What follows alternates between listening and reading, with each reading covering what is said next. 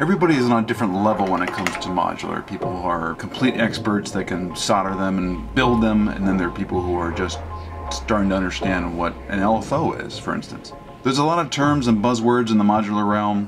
One of them is LFO, and a lot of people know that an LFO is a low frequency oscillator, a typically slow control voltage signal that can influence change parameters of other devices, often used for filter sweeps, envelopes, all kinds of things.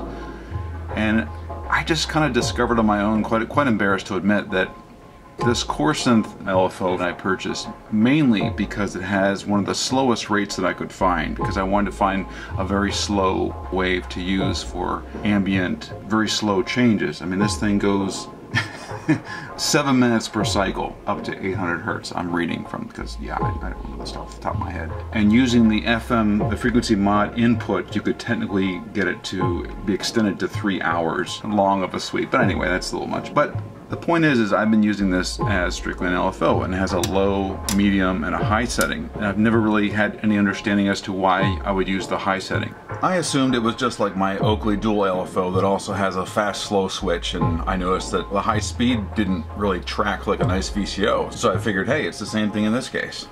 Well, now I realize this is a full-blown oscillator in 1U. It is another whole voice to your system because you have multiple outputs and simultaneous as well.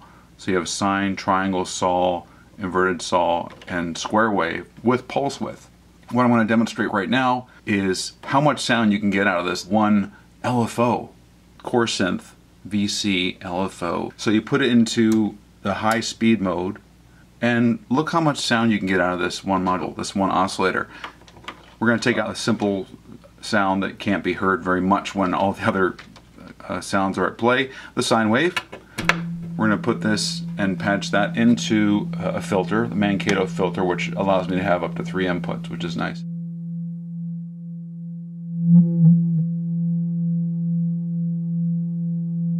And in addition to that, I'm going to put saw wave in,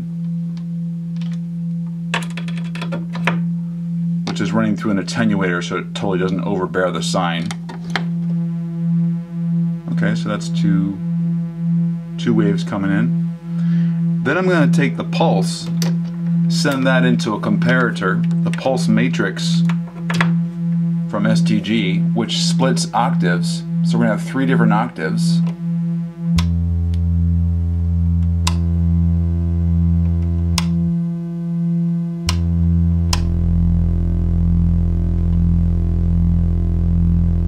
To take the CV input on the frequency modulation input from a sequencer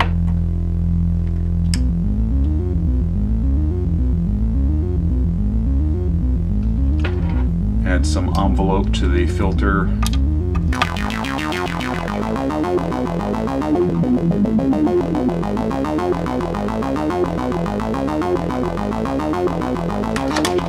and LFO sweep.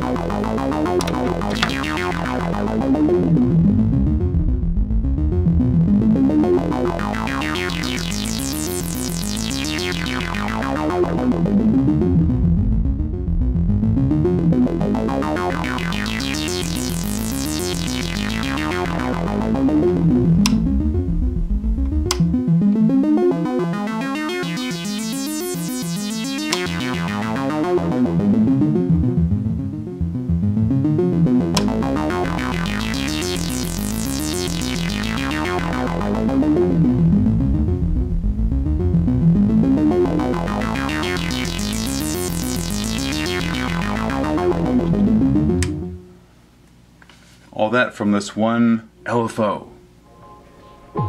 This is Alternating Bit. Thanks for watching.